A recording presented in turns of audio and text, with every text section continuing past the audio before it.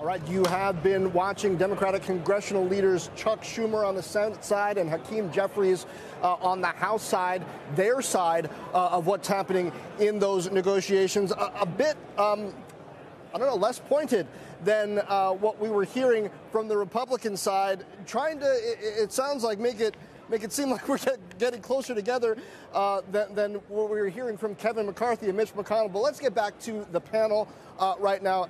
Uh, Alejandra Grindal, uh, on this, I don't know. It, it, seems like they're still pretty far apart, and maybe investors should expect this to run down to the wire because it sounds like they're looking for who's to blame if this doesn't come together quickly. so, what should investors expect? How are you positioned on this one?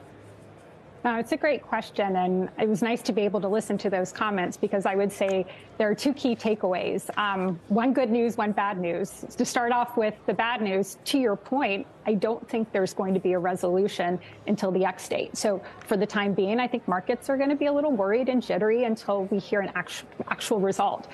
In terms of the good news, so I always have to put that in, um, I liked how pretty much both McCarthy as well as Schumer mentioned that debt default was off the table. Um, so it's good that that understanding is there because, as we know, that wouldn't be good for the economy. It wouldn't be for the glo- wouldn't be good for the global economy, potential potential financial risks. And the comment from McCarthy about, you know, we have to pay off our debts. Well, if you look at where the trajectory, according to the CBO, of where a lot of the government spending is going to see the growth in, it's actually in interest payments. And so if we default on our debt, I can't see that number actually getting any better. So at least if there's an ounce of good news, there seemed to be broad agreement that the debt default um, is off limits, at least for now.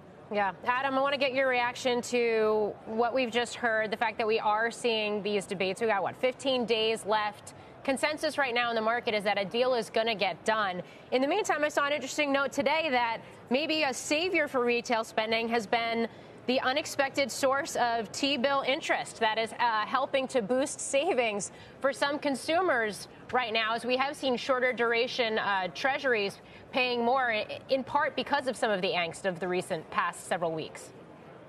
Yeah, I think I think the tone coming out of this meeting was certainly, um, you know, a little bit more conciliatory than we've been hearing. It does sound like there is movement towards a compromise. There have been reports about how Democrats, at the White House, were entertaining some of the work requirement demands from Republicans, um, and the Republicans perhaps were, um, you know, moving a little bit away from some of the more draconian spending cuts they were demanding.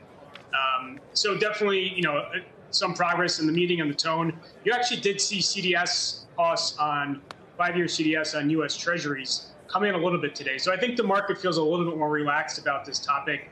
Definitely coming right down to the wire, unfortunately.